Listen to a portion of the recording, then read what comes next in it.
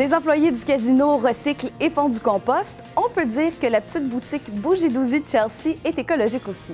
Toutes les chandelles qui sont dans le magasin sont faites à la main par les employés et quand on en achète une, la bonne fois qu'elle est fondue, on peut la faire remplir. On est allé voir toutes les étapes de création dans leur atelier.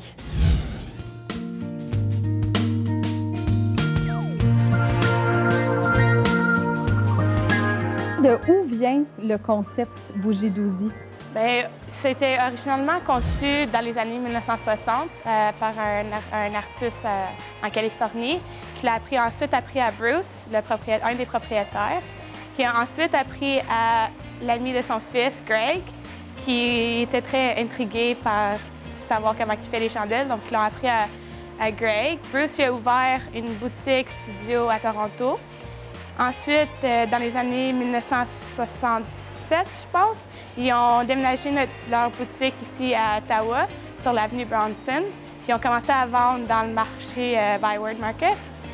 Puis euh, en 2003, ils ont décidé de déménager à Chelsea. Puis c'est là que le nom est devenu Bougie Douzy. Et qu'est-ce qui différencie vos chandelles de chandelles qu'on pourrait acheter n'importe où ailleurs? Qu'est-ce qui arrive avec nos chandelles qui sont faites avec la meilleure, qualité de la cire paraffine, qualité euh, alimentaire? Puis qu'est-ce qui arrive avec nos chandelles, c'est que seulement l'intérieur de la chandelle qui va brûler. Donc quand ils sont rendus au fond, tu peux les ramener puis on les remplit. Puis au pot, puis ça veut dire qu'ils sont remplissables, puis sont réutilisables.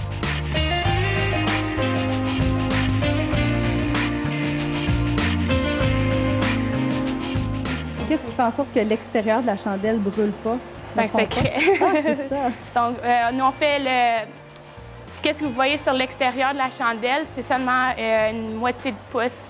Qui Puis après, on va la remplir avec la cire de couleur. Combien de temps ça prend à fabriquer une chandelle? Environ trois jours. Donc la première journée, on va faire le modèle de concept à l'extérieur, puis on va verser la, une première fois avec une odeur. Puis la deuxième journée, on va les enlever du moule, puis on va le verser encore, puis on va faire un trou pour mettre la mèche. Et après, on le finit avec un, avec euh, un chalumeau. Quel type d'ingrédients vous utilisez? Et la cire, c'est 100% euh, paraffine qualité alimentaire. Puis euh, l'odeur qu'on utilise, on utilise, c'est des huiles essentielles. Et ça, je vois qu'il y a beaucoup de couleurs, beaucoup, beaucoup d'odeurs. Combien vous en avez en tout? En odeur, on a environ une vingtaine. OK. Est-ce que vous, vous, pouvez faire des chandelles sur mesure? oui, sur commande, oui. Quel type vous faites quand les gens vous appellent pour... Euh, des fois pour des mariages, donc les couleurs qu'ils veulent pour leur mariage. Aussi, on en fait pour des compagnies, donc leur logo, n'est pas trop complexe.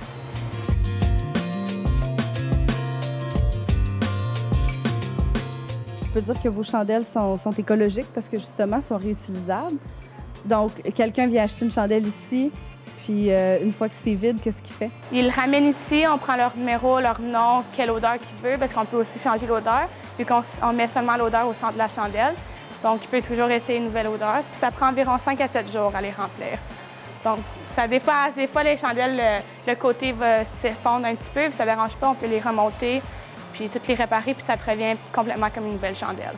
Puis, est-ce que les gens, quand ils viennent, peuvent choisir vraiment le design de chandelle qu'ils veulent aussi avec l'odeur qu'ils veulent? Euh, oui, mais tous les modèles, on fait plusieurs différents modèles. Donc, s'il y en a, ils choisissent leur modèle qu'ils veulent dans la boutique, puis absolument, on l'a dans l'odeur qu'ils veulent. Et quelles odeurs vous avez? On a beaucoup, on a comme lavande, vanille, euh, cocon melon, euh, melon miel, d'autres, euh, mandarine épicée. Vous pouvez nous montrer les étapes de fabrication? Oui.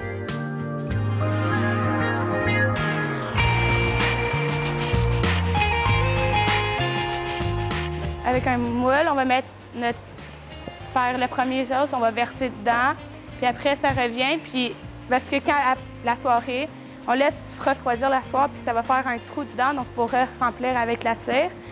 Puis après, on va percer un trou avec notre machine ici, puis on perce un trou pour que ça, pour que ça l'arrête euh, un quart de pouce avant la fin. Puis après, on va mettre une mèche qu'on va mècher en carton, qu'on va mettre dans de la cire pour qu'il reste droit, pour pas qu'il y ait de, problème. Puis après, on, va le finir, on va patcher le trou en haut, Puis on va le finir avec un chalumeau pour qu'il soit lisse puis brille. De quoi ça a l'air une chandelle qu'on re-remplit? Est-ce que ça a la même allure par la suite? Ces chandelles-là, ils ont, ils ont déjà été brûlées au moins huit fois.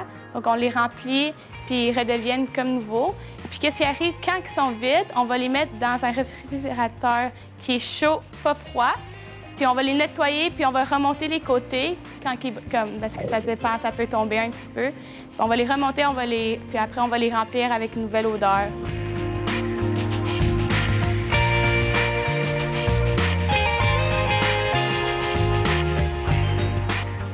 Vous avez envie de voir comment ils fabriquent leurs chandelles? Ils vous ouvrent leur atelier à tous les samedis de 11h à 18h.